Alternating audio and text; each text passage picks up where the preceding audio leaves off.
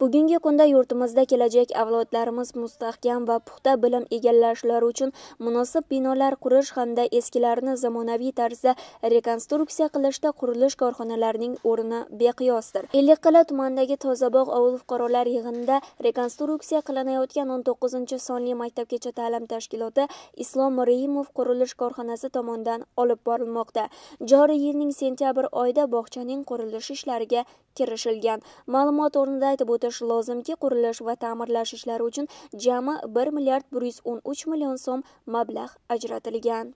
Mana biz e, islom reimov mas'uliyati cheklangan jamiyat qurilish firmamiz e, joriy yil sentyabr oyida e, tozabog' ofida joylashgan o'n oltinchi sonli bolalar bog'chasini ta'mirlash ishlarini olib bormoqdamiz. Ta'mirlash ajratilgan smeta bo'yicha bir milliard bir yuz o'n uch million so'm pul ajratilgan. Hozirda ellik foiz ishlarni tugatdik. Hozirda qirqta ishchi ishlamoqda.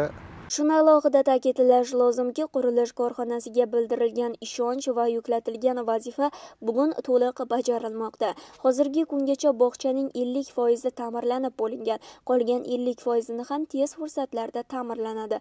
Chunki buning uchun qurilish va ta'mirlash ishlarini amalga oshirayotgan qirq nafar mehnatkash ishchi ustalar astoydil harakat qilmoqda. Darhaqiqat har qanday qurilish ishlari olib borayotgan korxona va tashkilot borki u mustahkam poydevorga ega bo'lishi va barcha talablarga javob berishi lozim. Ayniqsa farzandlarimiz ta'lim tarbiya oladigan bog'chalar.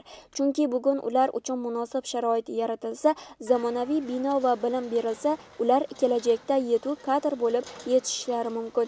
Demak bugun qurilayotgan har bir bino va qayta ta'mirlanayotgan bilim dargohlari mustahkam va zamon talablariga to'liq javob berishi lozim.